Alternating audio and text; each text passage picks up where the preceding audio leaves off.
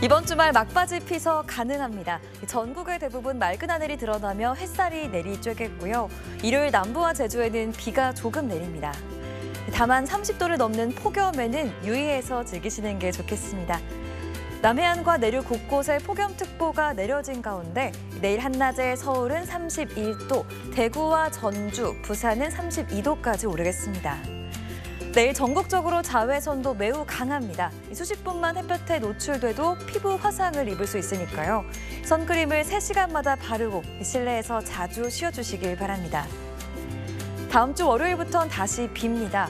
수요일까지 강한 국지성 호우 형태로 이어지겠고요.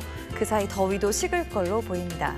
한편 현재 발생한 9호와 10호 태풍은 지금 예보로선 우리나라에 직접 영향을 주지 않을 걸로 예상됩니다. 날씨였습니다.